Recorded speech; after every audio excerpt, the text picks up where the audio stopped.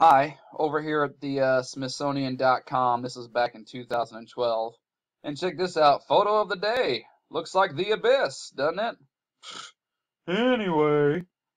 How Thomas Jefferson created his own Bible. I'm not going to get too deep into this. I'm just going to show you this one paragraph, and I'll put all these links below.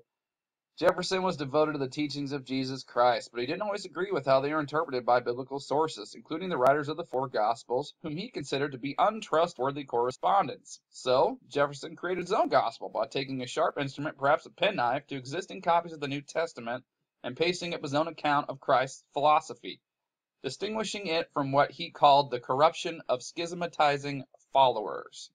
Now, let's go over here to PBS.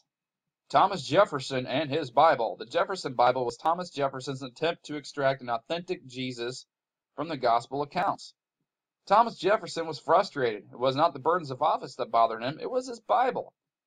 Jefferson was convinced that the authentic words of Jesus written in the New Testament had been contaminated. Early Christians, overly, or, er, excuse me, overly eager to make their religion appealing to the pagans, had obscured the words of Jesus with the philosophy of the ancient Greeks and the teachings of Plato.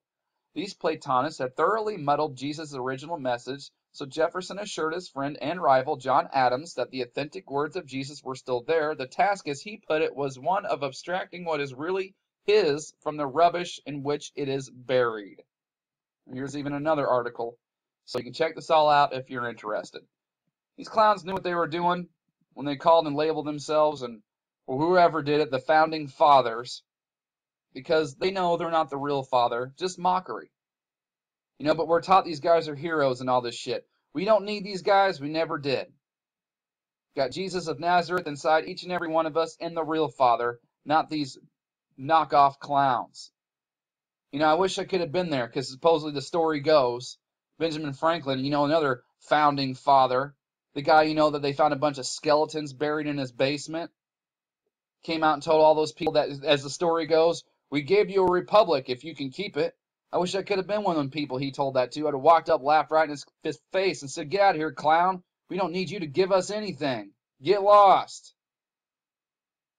But whatever. You got to give the people what they want. So, thanks to my subscribers for the support.